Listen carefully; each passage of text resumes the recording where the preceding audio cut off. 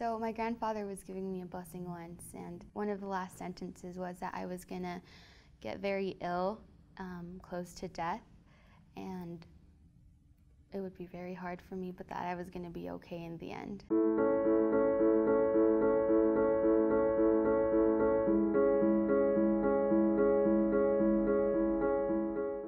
In that moment, I didn't know what to think of it, but as time went on, I started to get pretty sick. Up until I was about 16 years old, everything seemed normal. After that, I did start to experience some very terrible symptoms, which the doctors couldn't find what was causing them. I finally got diagnosed with a disease that wasn't easy to deal with.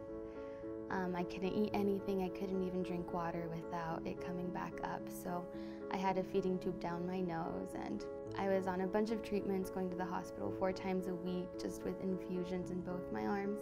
In that moment I was still struggling a lot and I was in a ton of pain. Again, I couldn't eat anything and the only thing I could think of is that sentence that was in the blessing my grandpa gave me saying that even though I was going to be very sick, I was going to be okay. There were many times where I wondered if I was ever going to get better and if that blessing was going to come true. And it was very hard not being able to go out and do senior trips like a lot of my friends were, not being able to attend college right away.